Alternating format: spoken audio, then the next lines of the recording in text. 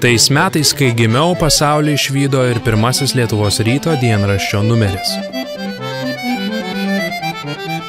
Būdamas šešerių pamačiau pirmąją Lietuvos ryto televizijos laidą.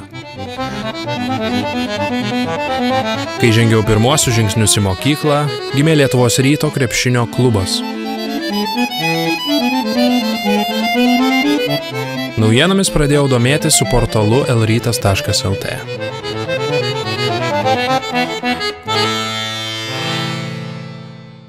Mes augame kartu. Lietuvos ryto žiniasklaidos grupė.